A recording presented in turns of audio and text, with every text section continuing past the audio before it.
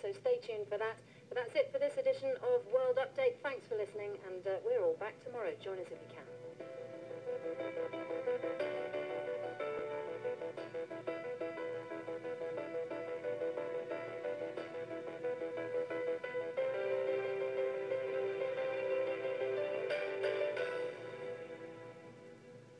This is 90.7 KWMU, St. Louis Public Radio, broadcasting in HD from the University of Missouri, St. Louis at Grand Center and online at stlpublicradio.org.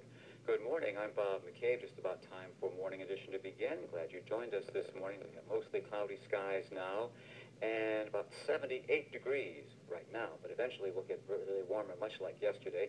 In the 90s, sunny skies expected today with a high temperature near 95 degrees, south winds between 9 and 18, gusting as high as 30. So it's going to be a blustery day and one that's very, very warm.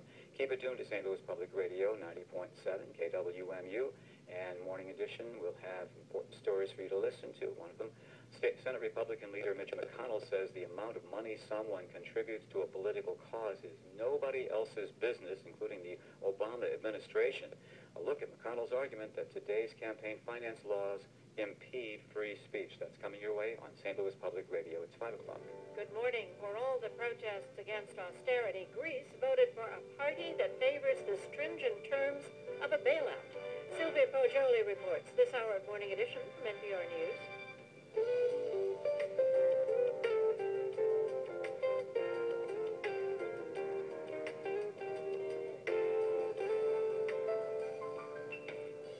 was more than 20 years ago that a riot